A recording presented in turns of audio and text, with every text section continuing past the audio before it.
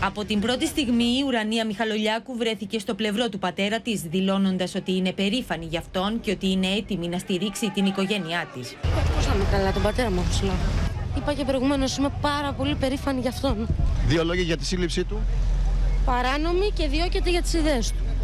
Οι κινήσει σας από εδώ και πέρα, οι δικές σας της οικογένειας, ποιες είναι; Να στηρίξουμε την οικογένειά μου πρώτα πρώτα και μετά να συνεχίσουμε τον αγώνα μας. Μαζί της και η μητέρα της Ελένη Ζαρούλια, η οποία προσπαθούσε να αποφύγει τις ερωτήσεις των δημοσιογράφων αλλά και τις κάμερες. Κυρία Ζαρούλια, δύο λόγια θέλετε να μας πείτε. Μητέρα και κόρη πέρασαν το απόγευμα τον έλεγχο των αστυνομικών για να μπουν στα δικαστήρια της πρώην σχολής Ευελπίδων. Όλα αυτά είναι ψεύδι και είναι κατασκευασμένα μόνο και μόνο για να βλάψουν τη Χρυσή Αυγή. Όπως είπα και προηγουμένως, δεν μας φοβίζει τίποτα.